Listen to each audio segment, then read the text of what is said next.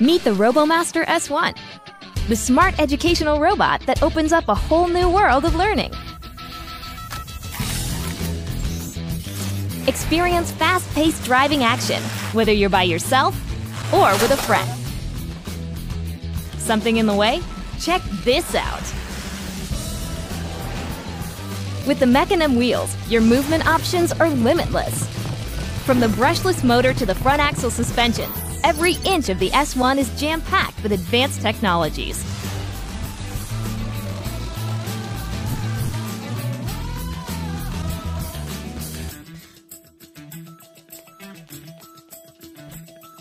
With the included interactive curriculum, anyone can learn how to code. Teach it to move, recognize shapes, and a whole lot more. Apply math and physics and take your S1 to the next level.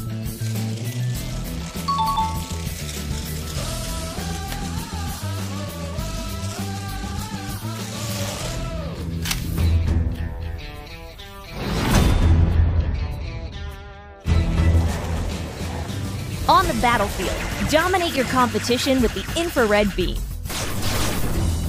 Use mystery bonus abilities to get an edge, like this.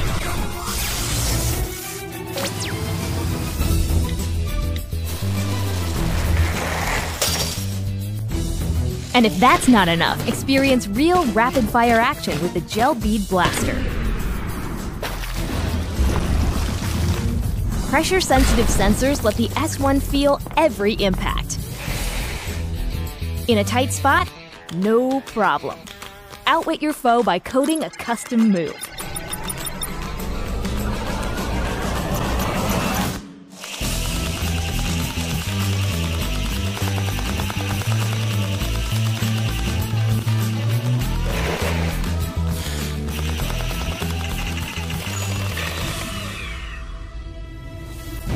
And when you've run out of opponents in your backyard, you just might be ready for DJI RoboMaster, the world's toughest international robotics competition.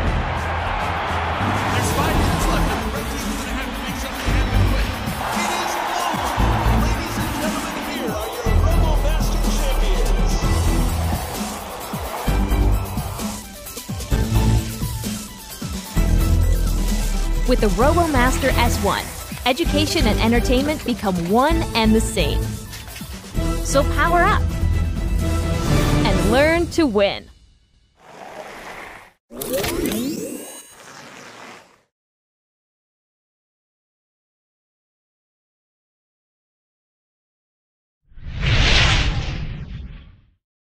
There are two ways to connect the S1 to the RoboMaster app connection via Wi Fi and connection via router.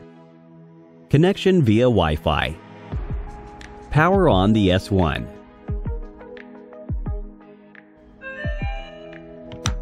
Then open the RoboMaster app.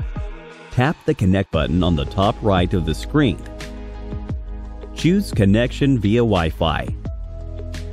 Slide the Connection Mode button on the Intelligent Controller to the left to switch the S1 to connection via Wi Fi mode. Go to the Settings page and connect your mobile device to the S1's Wi Fi.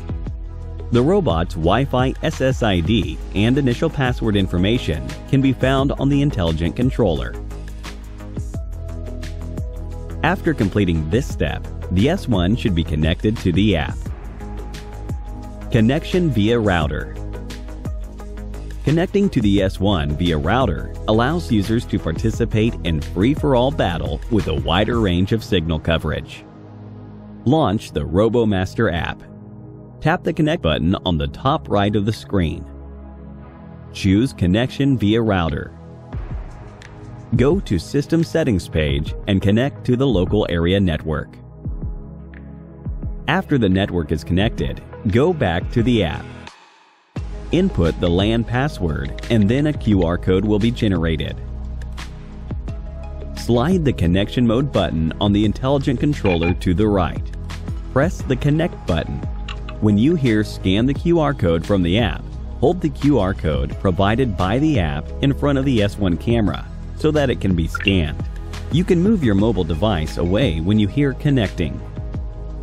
When the Armor LED glows blue and an alert on the app pops up with Connected, your mobile device is connected to the S1. Changing the Wi-Fi SSID and password. Ensure your mobile device is connected to the S1 via Wi-Fi. The Wi-Fi information can be changed by going to Settings and then Connect in the app. Tap OK to confirm. Restart the S1 and connect your mobile device to it with the new Wi-Fi SSID and password. Resetting the S1's Wi-Fi. Slide the connection mode button to the left. Press and hold the connect button for 5 seconds. You can stop pressing the button when you hear Wi-Fi reset. The robot will set the Wi-Fi SSID and password to initial settings. Thank you for watching.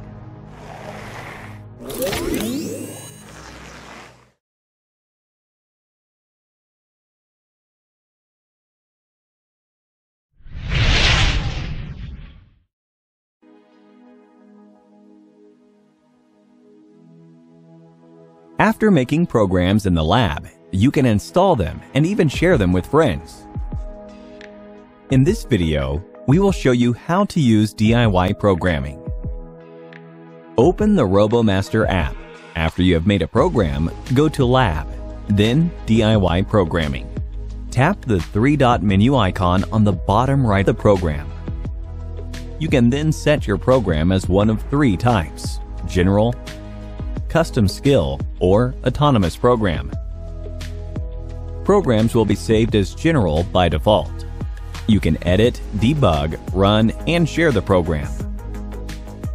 If you set a program as a custom skill, you can tap the Custom Skills icon to trigger it at any time while in solo or battle mode.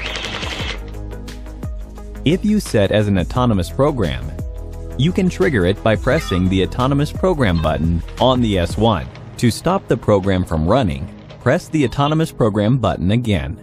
To ensure safety, the S1 speed is limited while running an autonomous program. The S1's maximum translational speed is 1 meter per second, and the maximum rotational speed is 250 degrees per second.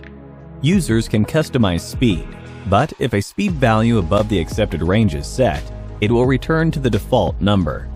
Program uploading and sharing. You can tap Cloud Backup to upload your program to MyCloud Space. After doing this, you will be able to log into your account using another mobile device and download the programs stored in MyCloud Space. You can even share your programs with others who have the RoboMaster app. Thank you for watching.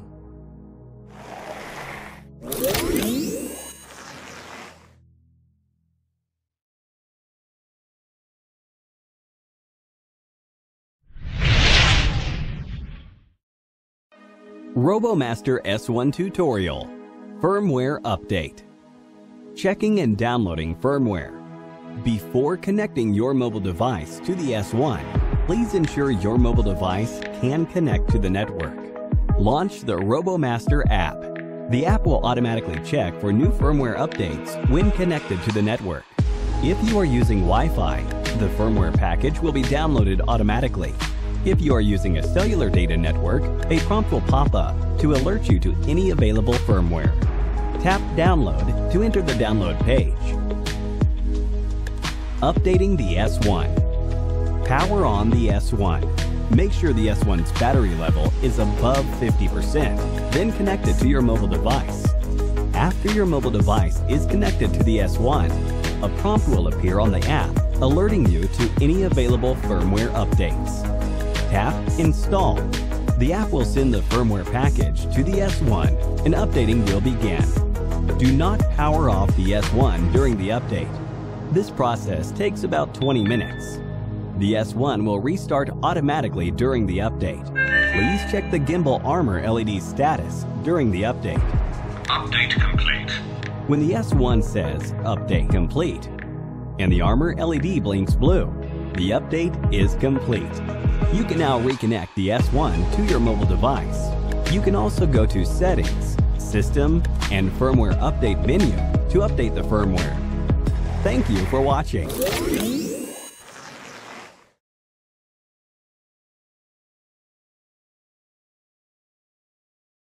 Hit the like button if this tutorial was helpful. If you need any support with your DJI gear, feel free to contact us via Facebook Messenger by following the link in the description. Thank you for watching.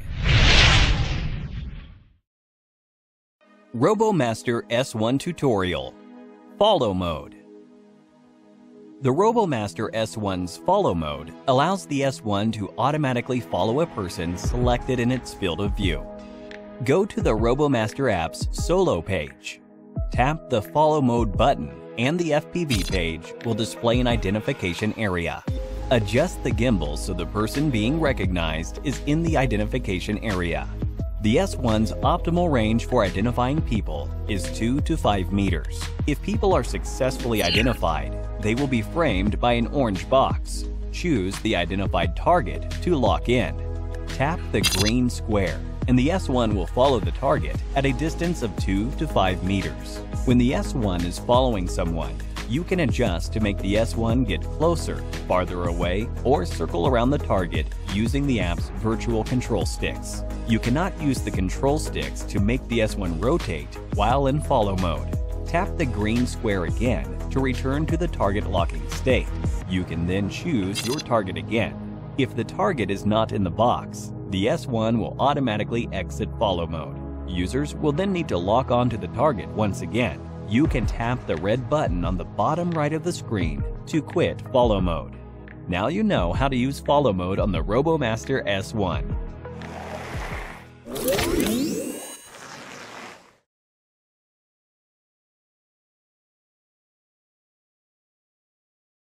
Hit the like button if this tutorial was helpful. If you need any support with your DJI gear, feel free to contact us via Facebook Messenger by following the link in the description. Thank you for watching. RoboMaster S1 Tutorial First Time Use Check to ensure all cables are properly connected. Insert a micro SD card into the intelligent controller. Adjust the antennas to make them stand vertically. Install the intelligent battery. Please make sure you have charged the battery before using it for the first time. Press and hold the power button for about 2 seconds to turn it on. Open the RoboMaster app, sign up for a DJI account, or log in using your existing account if you have one already. Then, follow the instructions to connect the S1 to the RoboMaster app. Activating the RoboMaster S1. Before activating the S1, make sure your mobile device can connect to the internet. Enter the online activation page. Please read the terms of use carefully. During activation, the S1's hardware information needs to be uploaded. After verification is complete, reconnect your mobile device to the S1's Wi-Fi to finish activation. Motor addressing. Lift up the chassis. Start by addressing the chassis' four motors. Then the S1 can move normally. Rotate the right front mecanum wheel manually until the S1 makes a beeping sound. Then, rotate the left front wheel, left rear wheel, and right rear wheel to address the remaining motors. When you're finished, tap the on-screen icons to check whether all mecanum wheels can rotate normally. If the mecanum wheels do not function properly or the addressing is incorrect, please reset and try again. Armor addressing. Next, we'll need to address the S1's armors. This will ensure the armor plates can detect hits. Lightly strike the center of the rear armor plate to begin addressing. If the strike is registered successfully, the LED light will glow solid blue. After that, hit the front armor left armor, and right armor. Skip the armor if it does not respond to hits. Go to Settings, Robot, and then you will see the current device's status. Tap Solo to enter FPV screen. You can make the S1 move forward, backward, to the left, and right via the virtual joystick on the left side of the screen. The speed and acceleration can be set in the Settings control menu. Press and hold any free space on the right side of the FPV page to control the gimbal. You can also go to the Settings Control menu to enable the Gimbal Gyro Control function. Chassis and gimbal sensitivity settings can be customized in the Settings Control menu.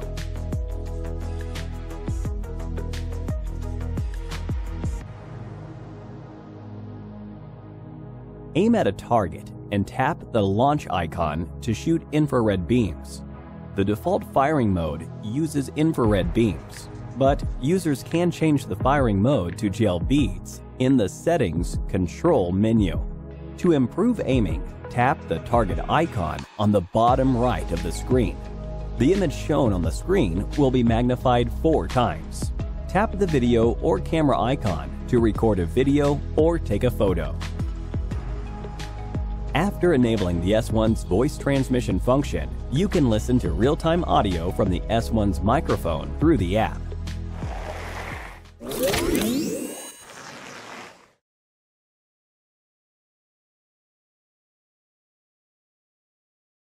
Hit the like button if this tutorial was helpful. If you need any support with your DJI gear, feel free to contact us via Facebook Messenger by following the link in the description.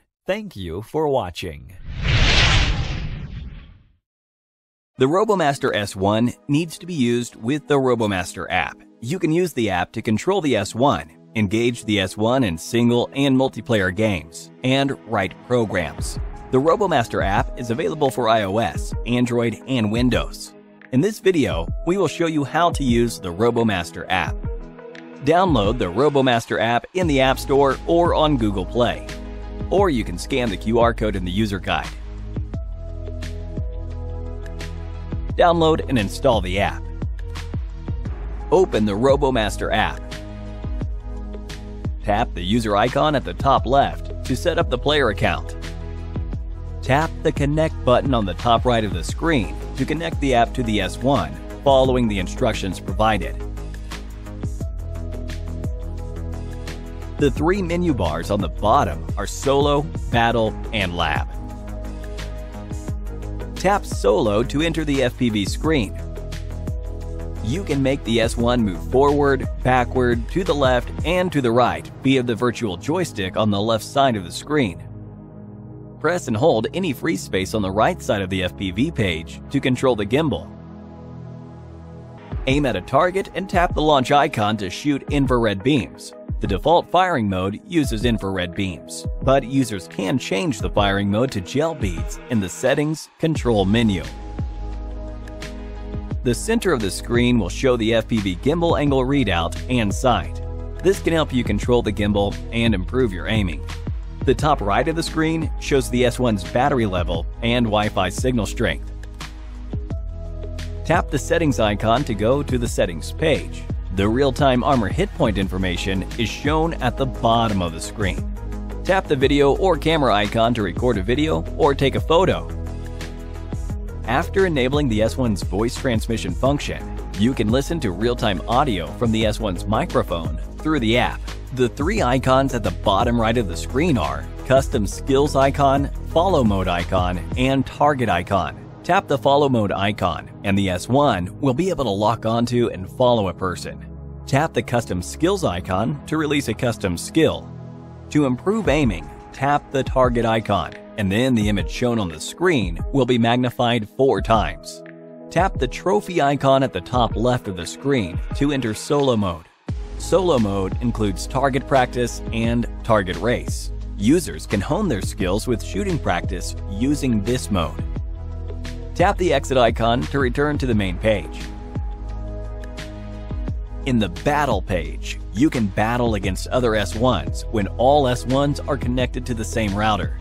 You can choose from race and free-for-all modes. Tap the exit icon to return to the main page. In the Lab page, you can check out Road to Mastery to learn how to program and to explore robotic and AI knowledge. These courses gradually increase in difficulty, allowing users to eventually solve problems with their own unique solutions. In DIY programming, users can program using visual programming language. In Robo Academy, users can check the video tutorials and learn robotic and AI knowledge.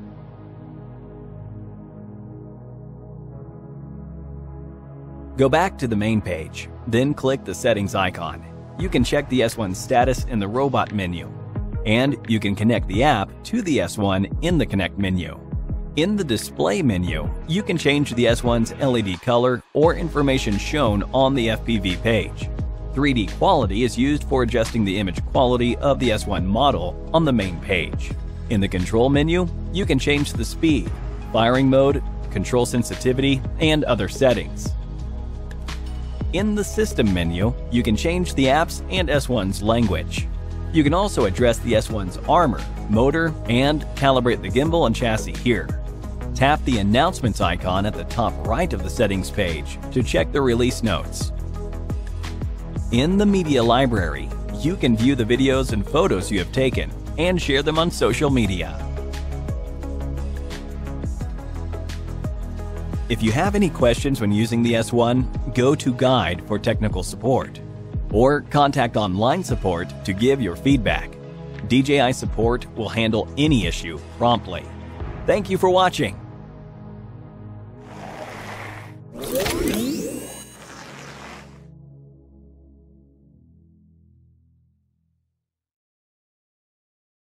Hit the like button if this tutorial was helpful. If you need any support with your DJI gear, feel free to contact us via Facebook Messenger by following the link in the description. Thank you for watching. RoboMaster S1 Tutorial Solo Mode Open the RoboMaster app, go to Solo, then tap the icon on the top left of the screen to enter Solo Mode. There are two Solo Mode options, Target Practice and Target Race. Target Practice In Target Practice mode, players need to hit as many of the designated vision markers as possible before time runs out. The player with the highest score wins. Prepare the vision markers numbered 1 through 5.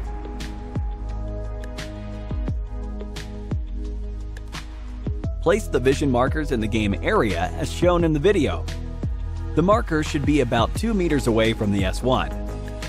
After practice has begun, random targets and a countdown will be shown on the FPV page. Players need to hit all the targets before time runs out. Align the sight with the vision marker. The S1 will identify vision markers automatically. Hits will be registered when players tap the launch button to hit the target. Players will gain 100 points after successfully hitting a target and will pass each level after hitting all the targets. There are 5 levels in total. As the levels increase, the countdown time becomes shorter and players need to shoot more targets during the allotted time. You can set the S1 and only rotate the gimbal and chassis to hone your firing skills in practice. The score will be shown after the game is finished. The ranking is listed based on score. Players can continue to practice and update their record with improved scores. Multiple users can play on one S1 and mobile device with individual player names. Target Race This mode tests a player's ability to control the S1. Players need to arrive at the vision marker's position as soon as possible and strike down the markers. Prepare the vision markers numbered 1 through 5. As shown in the video, place the vision markers in the gameplay area to complete racetrack setup.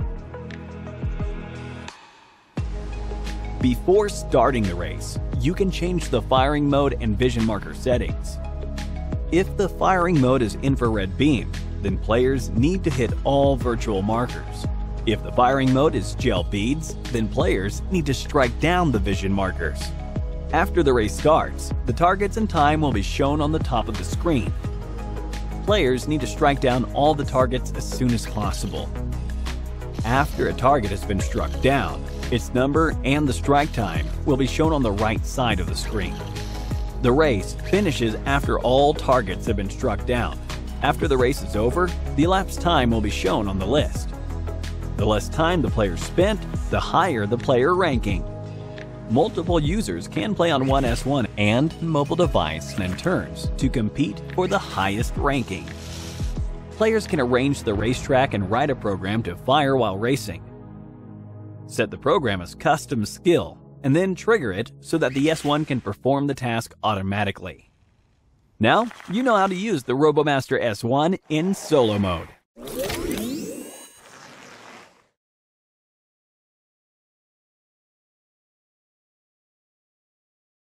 Hit the like button if this tutorial was helpful. If you need any support with your DJI gear, feel free to contact us via Facebook Messenger by following the link in the description. Thank you for watching.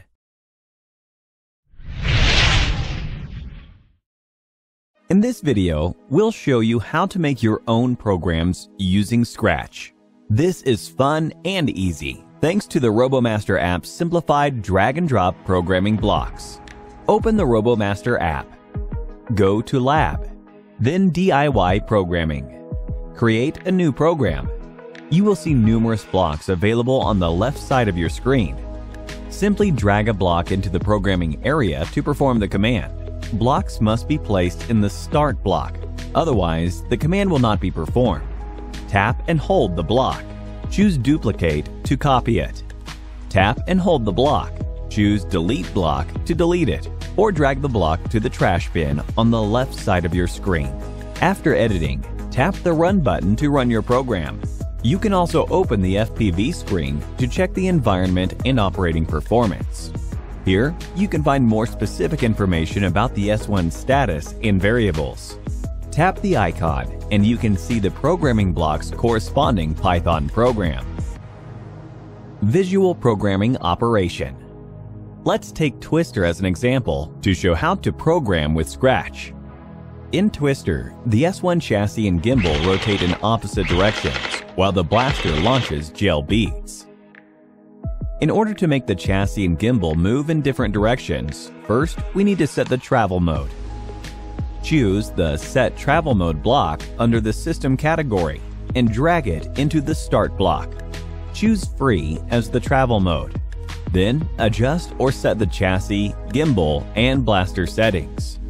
Choose Set the Chassis Rotation Speed block from the Chassis category and drag it into the Start block. Tap the Rotation Speed block and then set the rotation speed to 120 degrees per second. Choose the Gimbal Rotation Speed block under the Gimbal category and drag it inside the Start block. Tap the Rotation block and then set the rotation speed to 120 degrees per second. Choose the number of beads and full auto blocks and drag them into the start block. Set the number of beads per launch to 8. To ensure the S1 can continue twisting, choose the Always block under the Commands category and drag it below the gimbal and chassis blocks. Then, set up the Always block to make the chassis and gimbal rotate in different directions. Choose the Gimbal Rotate block and drag it to an empty space in the programming area. Set the direction to right. Choose the Chassis Rotation Duration block from the Chassis category. Set the direction to left and the duration to 0.2 seconds. Tap and hold the block and then duplicate it. Move the duplicated block under the original one. Set the duplicated block's direction to the opposite of the original block. Move the four blocks together into the Always block. After the above steps are completed, the chassis and gimbal should move in opposite directions continuously when you run the program. Before running the program, you can turn on the FPV screen on the top right of the page to check your surroundings. Make sure no one is in front of the blaster. Tap the Run button and the S1 will perform the action. To stop the program, just tap the Stop button. Tap the exit icon to exit. Tap Yes to save the project. Thank you for watching.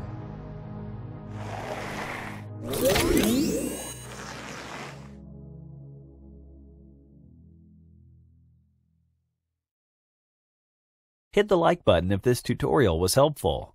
If you need any support with your DJI gear, feel free to contact us via Facebook Messenger by following the link in the description. Thank you for watching.